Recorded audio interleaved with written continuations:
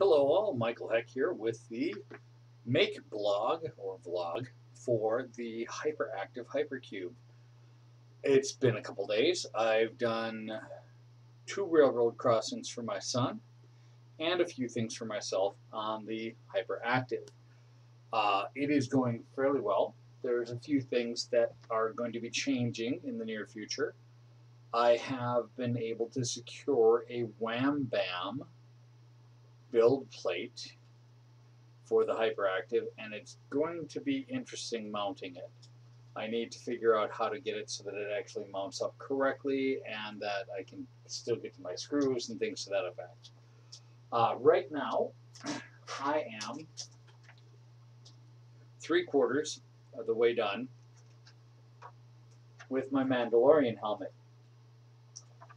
It fits pretty well I think I made it a little bit too wide, but I was concerned about the parts on the side here.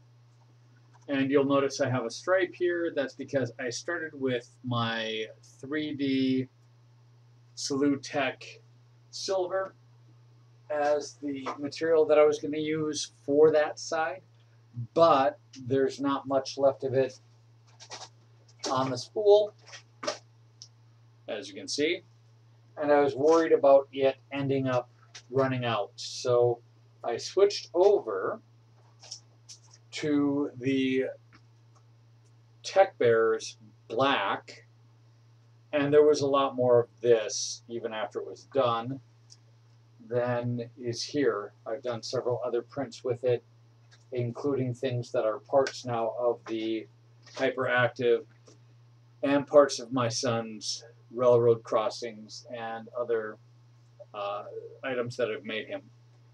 Uh, my next big project is going to be the Vambracers. Uh, my idea is that the maker that I am for the Mandalorians is someone who actually was able to uh, successfully take on an Acklay, which is that thing in episode two,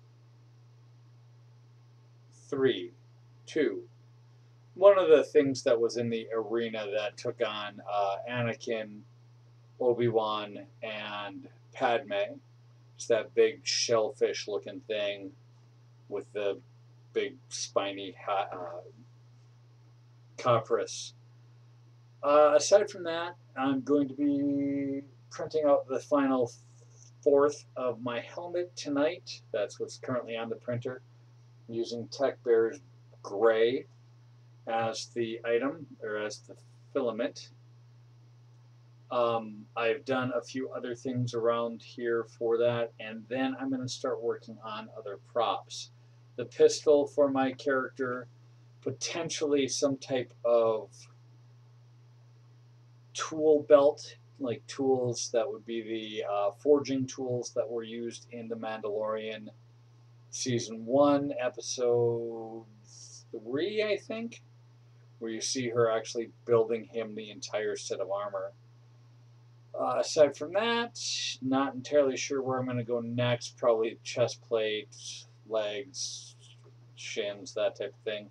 That might turn into being EVA foam it might become Sintra. I'm not 100% sure yet. I'm still working through that. Uh, I've designed a jetpack for myself in Tinkercad, and I'm probably going to use it for both myself and for my friend that I've created some stuff for. Uh, I don't know if that's going to be able to be approved by the Razor Crest clan, which is the group of folks that are doing Mandalorian cosplay at cons and things like that. If it can't, I'll find something else I can use for the backpack or jetpack or just not wear it when I'm with them. Uh, but I'm enjoying myself so far, and I hope you're enjoying following along. Um,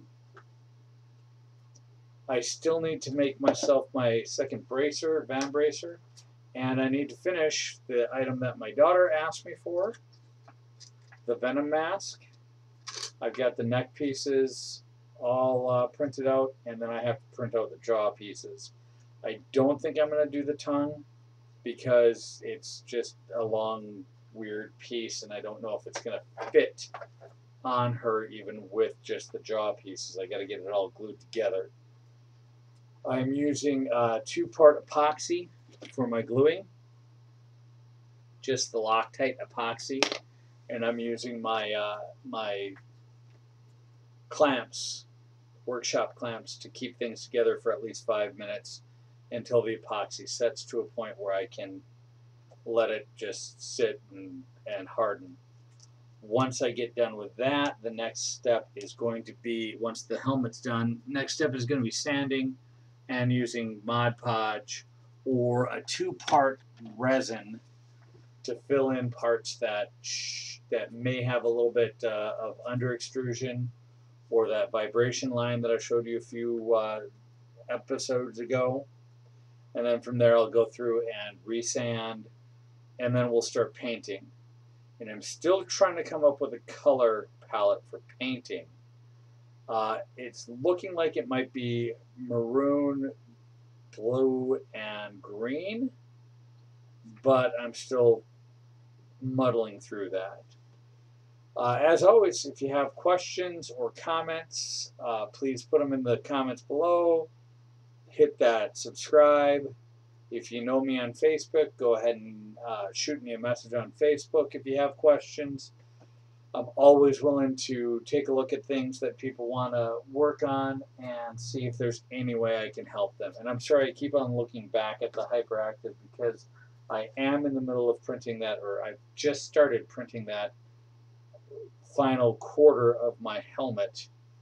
And I want to make sure it doesn't mess up because it would be really fantastic to have that done by the end of this weekend.